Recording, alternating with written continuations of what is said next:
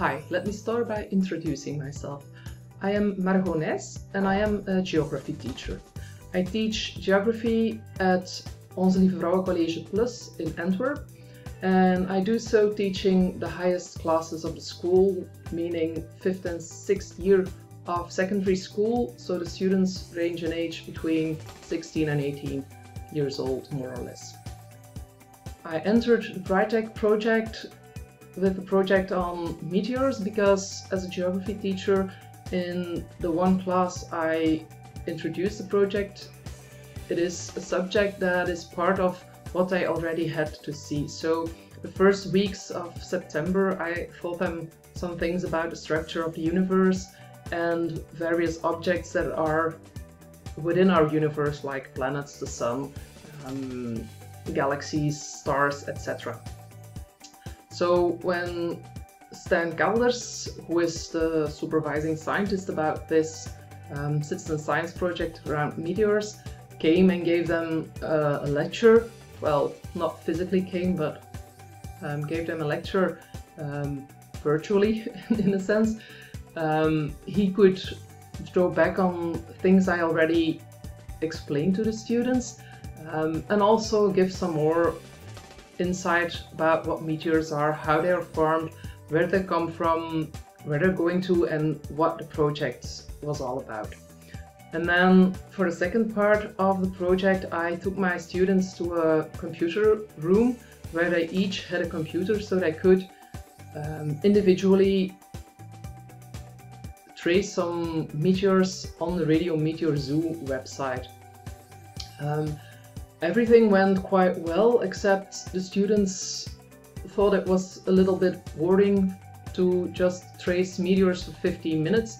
So in hindsight, I would now probably try to do something other than just tracing the meteors, but giving them another kind of, of um, task to do, just not only tracing those meteors. So for our students, it was nice to see um, the the other side of, of in a in a way of what they're studying. Um, what they do is quite theoretical at the moment.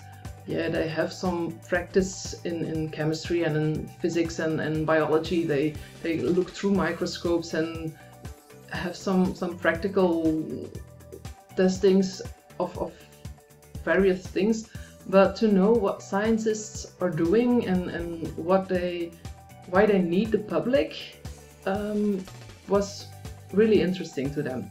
It was also nice for them to hear a lot of what they need to learn in geography lessons from someone else and not just from me. So in fact it was quite basic what I did because I only have one hour a week to teach them geography and of course there's a whole curriculum that um, I have to, to see by the end of the year and it made it quite difficult to put too many hours into the project. For teachers wanting to, to introduce the subject and project to their students, I would advise them to see if they can work together with other teachers who probably teach physics or chemist chemistry or even mathematics um, because that's that are those are all subjects that go really well with a project on meteors.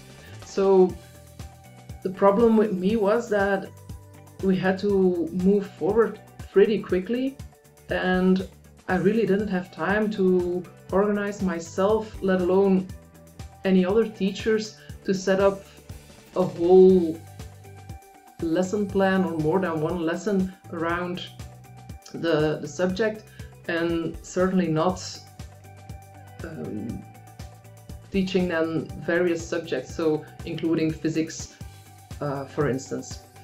Although the physics teacher was actually quite interested, another problem was that the, the subject meteors is something that I teach in geography in the fifth year, so the students 16, 17 years old. But in physics, the, the subjects the subject about radiation and how to detect the meteors, which happens to be with radio signals, um, is taught in the sixth year. So it didn't quite match up for us to work together on this project this year. So maybe if I do something like that again, I'll try to have a little bit more time to work things out and I'd really try to work with other teachers, colleagues um, to lighten the burden because it was quite some work. Um, but in the end, I'm really glad we participated and the students were really enthusiastic. So that was also an added bonus for them to be yeah, involved in the citizen science project. They got to help the scientist who wants to make an algorithm to detect meteors using a radio network around Belgium. So we, we were happy to help them out. Thank you very much for your attention. Bye.